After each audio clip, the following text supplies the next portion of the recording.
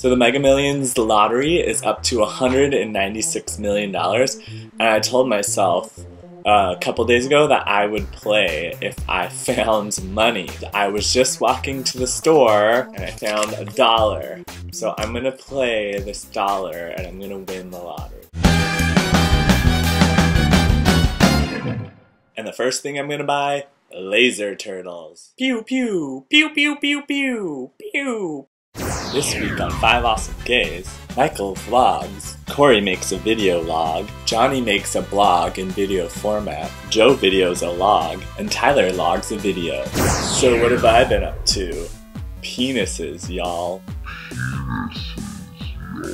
Christmas Day, I went with my friend Loser Luigi and some others to a Broadway show called Naked Boys Singing. That's right, it's a Broadway show where it's straight up naked dudes. And let me tell you, there was a whole lot of flopping penises in my face. And then, if you follow me on Twitter, I was kind of bored the other night and I asked followers to please send me pictures of their penises. If you'd like to submit a photo for review, please email to michaelhartz at live.com. Yep, and it's definitely a penis. And I've been tumblering a lot too. If you'd like to follow me, link is here. I don't know what else to do this week. I could do a magic trick. You want to see a magic trick? Make this bag of M&Ms disappear. All together now.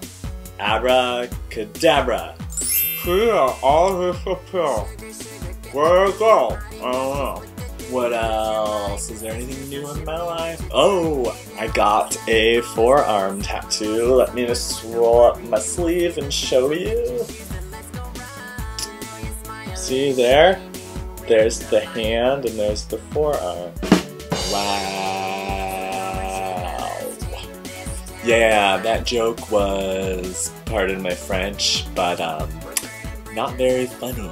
Oh, you guys, and if you haven't watched the last week, watch it. It's Secret Santa week. Corey sent his late to Tyler, that's why we're a day behind. We're gonna be a day behind all week.